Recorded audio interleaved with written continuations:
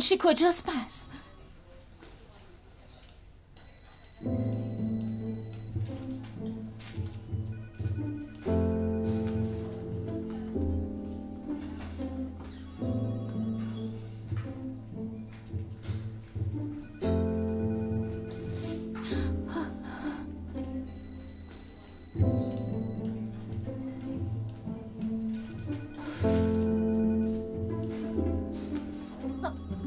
سلام.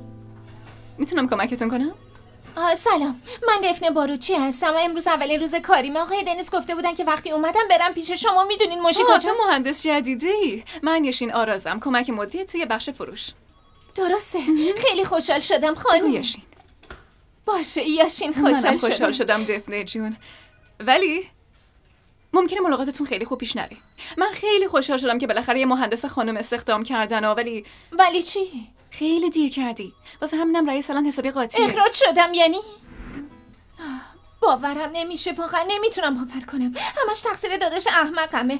اگه به لباسم گیر نمی‌داد و نمی‌گفت کوتاه و مجبور نمی‌کرد عوضش کنم الان اخراج نمیشه. باید. یعنی تو هم یه داداش داری که به همه چیزت گیر میده؟ آره تو این قرن غیر ممکن به نظر میاد نه. امروز که می‌خواستم بیام جلومو گرفت. با لباس کوتاه اجازه نداد برم بیرون. می‌تونی باور کنی؟ گفت این لباس کوتاه این لباس. باشه شاید کوتاه باشه یکم.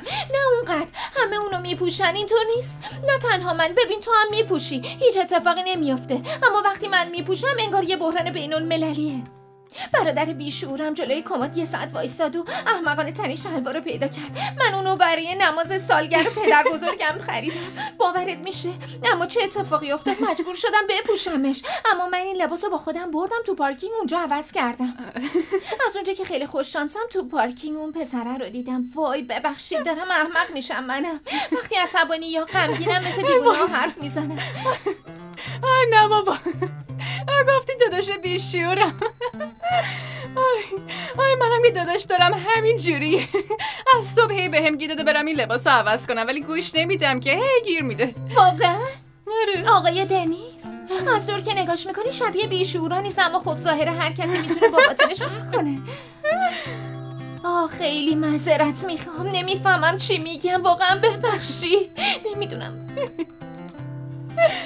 تو هر چی که میگی راست میگی. باور کن. یعنی من نمی‌دونی چقدر از آدمایی که ظاهر و باطنشون یکیه خوشم میاد. تو خیلی شیرینی. متشکرم. اتفاقا دنیز خوبه. منظورم اینه که می‌دونی از اون بیشوراش نیست. البته نمی‌تونم بگم خیلی مرد نمونه و فوق العاده ولی بالاخره دنیزه دیگه. می‌دونی پسرمومه. من خواهر یالینم. پس یعنی رئیس اصلی بیشوره؟ پس خوب شد که ندیدمش چون رئیس بیشوره نمیشه تحمل کرد. اصلا نمیشه تحملش کرد. پاشو بریم. بیا با هم بریم پیش دنیز. ها؟ اگه دنیز رو راضی کنیم اون وقت یالینم میشه راضیش کرد. می‌دونی من زبون اینا رو خیلی خوب بلدم. می‌دونی اگه من برم این ورور جادو مخشو بخورم انقدر حرف بزنم سرش بره اون وقت قبول می‌کنه. مطمئنی تو آخه. من زبون این احمقا رو خیلی خوب بلدم. ای بالاخره پسرموم و برادرم من دیگه مگه نه؟ به تو هم یاد میدم. آی تو باید اینجا کار کنی. اصلا بایدیه می‌فهمی بایدیه. و پاشو بریم. بیا بریم. باشه بریم. بریم. امیدوارم حق با تو باشه. من الان واقعا عصبی هستم. آی دنیز تو خجالت سرت نمیشه ها؟ تو می‌تونی بری بارکو.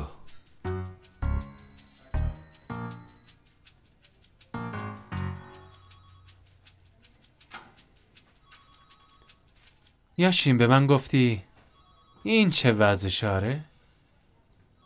خیلی خوب می‌خوای تو رم اخراج کنم؟